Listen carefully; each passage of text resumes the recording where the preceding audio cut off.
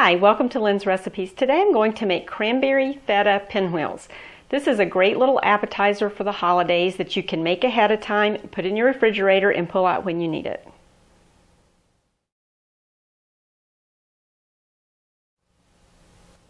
The amounts of the ingredients that you're going to need to make this recipe can be found in the information box below or you can find it on the website. The ingredients are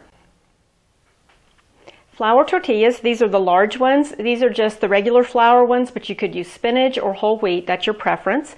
You'll need some cream cheese, some crumbled feta, some sliced scallions, and some dried cranberries.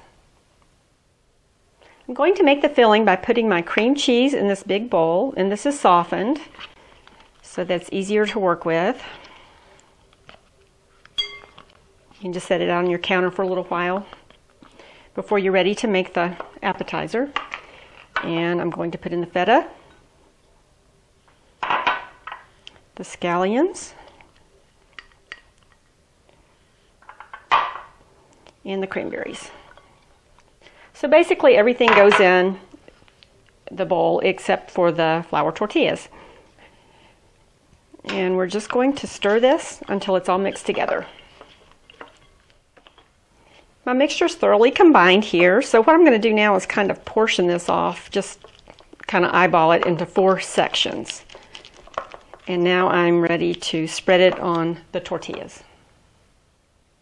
Okay, I'm going to take a quarter of this mixture and put it on the tortilla. And now I'm just going to take my spatula and spread it evenly on the tortilla. It's a little bit of a stiff mixture because of the cream cheese, but just going to do the best we can.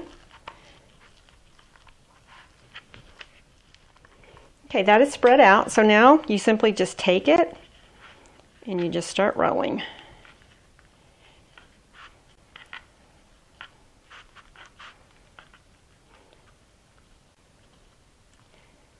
I'm going to set this one aside and continue on with the next ones. Okay, this is the last one that I'm rolling. Okay, so the next step is to take the plastic wrap and we're going to wrap each one of these up individually in plastic wrap.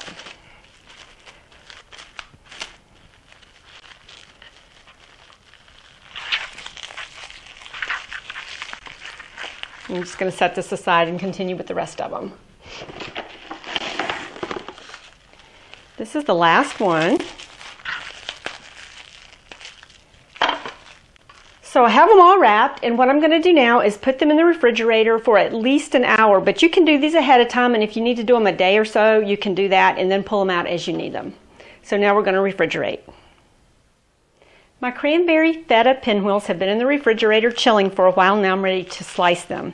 So I'm going to undo the saran wrap or the cling wrap, plastic wrap, whatever you want to call it.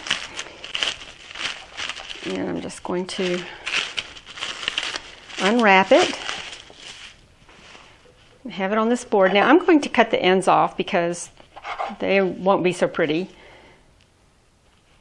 You can still eat them for a snack treat. Then I'm going to start in the middle and I'm just going to start cutting them, trying to get them even.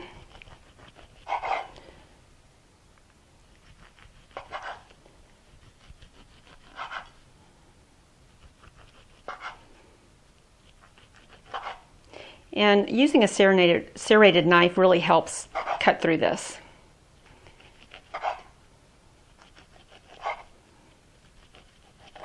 Okay, so that's the first one. This is what they look like, and I'm just going to put them on a tray and continue on with the next ones. I finished cutting my pinwheels and put them on a serving board, and this is what they look like. These are cranberry feta pinwheels. I hope you enjoy them.